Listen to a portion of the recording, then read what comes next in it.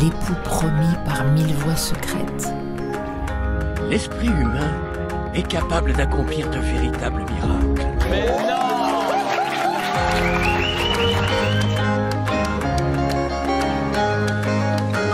J'arrive chez moi, ma femme a disparu. Maman départ. Et évidemment, tout dégringole